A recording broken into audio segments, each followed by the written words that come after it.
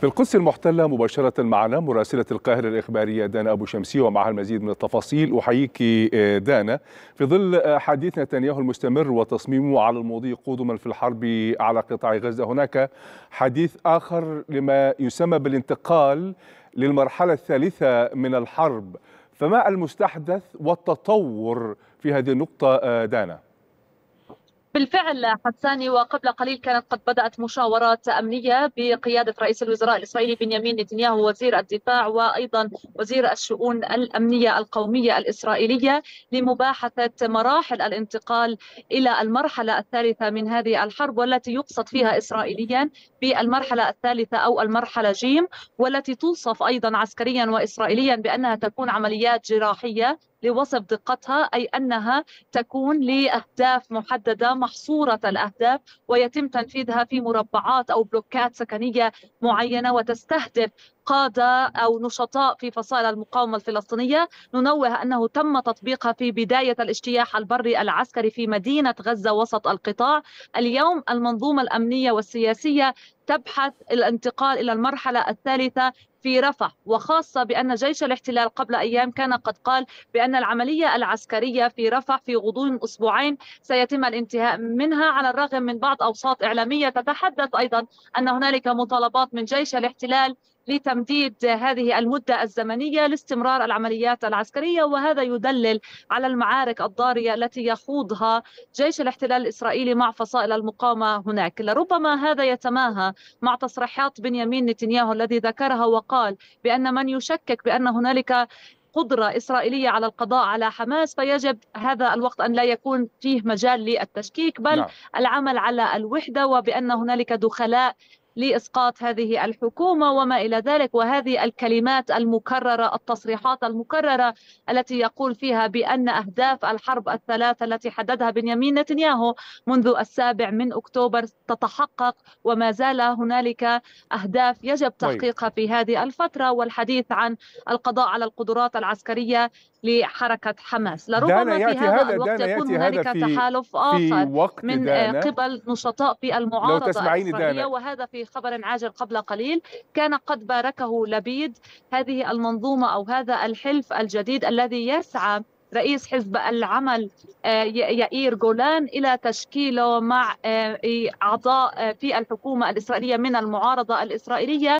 ويقول بأنه يجب العمل على تشكيل منظمة كبرى تعمل على إسقاط هذه الحكومة الإسرائيلية طيب. وإيجاد حكومة بديلة، لربما حساني جبهة جديدة تفتح على هذه الحكومة من الحريديم، وخاصة قبل قليل في شوارع مختلفة من مدينة القدس كان هنالك تظاهرة للحريديم أي المتزمتين دينيا يرفضون الانضمام إلى الخدمة العسكرية في جيش الاحتلال الإسرائيلي.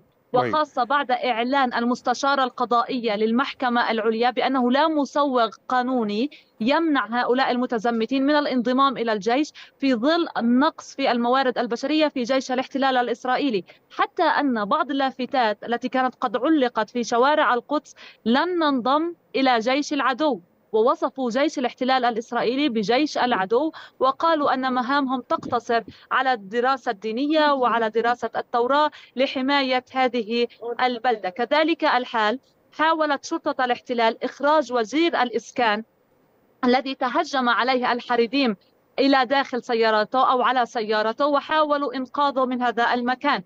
ووسط يعني محاولة للعنف كما تقول شرطة الاحتلال الإسرائيلي في بياناتها. ولربما هذا ما يخيف المنظومة الأمنية والسياسية بأن يكون هنالك تحرك في الشارع الإسرائيلي تارة من اليسار الإسرائيلي والمعارضة وعوائل المحتجزين وتارة أخرى من اليمين المتطرف. وكلها سيوف تضرب في هذا الائتلاف الحكومي الذي لا شك بأنه على حافة الانهيار مع إمادة هذه الحرب ولربما كان هنالك تصريحات اليوم مختلفة لجالنت وللبيد وغيرهم وكلهم يقولون بأنه لربما الآن يجري العمل على صفقة تبادل أو تقليص جسر الهواء الموجود بين فصائل المقاومة الفلسطينية وبين إسرائيل لضمان الانتقال إلى المرحلة الأولى ولكن كالعادة يلقون في المسؤولية وهذه الكرة تعود من جديد من قبل الإسرائيليين.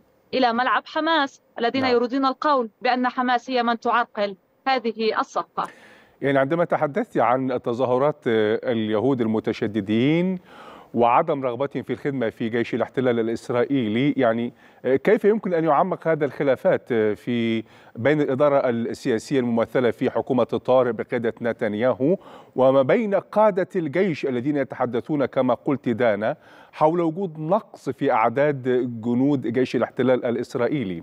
وهل يمكن أن يعني تغير هذه التظاهرات من مفهوم جيش الاحتلال الإسرائيلي في الحرب المستمرة على قطاع غزة وفي ارتكاب جرائم الحرب كما يسميها هؤلاء المتشددون.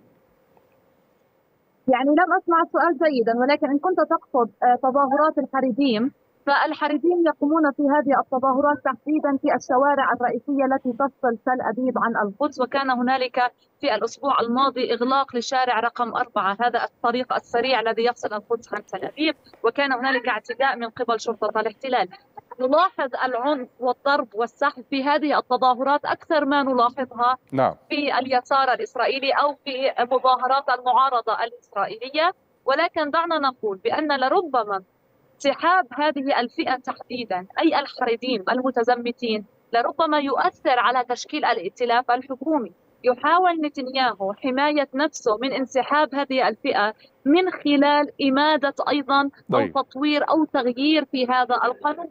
من خلال تحديد أعداد الداخلين إلى الخدمة العسكرية واضح ما تقولون وتسمعينا أشكرك على هذه التفاصيل دانا أبو شمسية كنت معنا مباشرة من القدس المحتلة.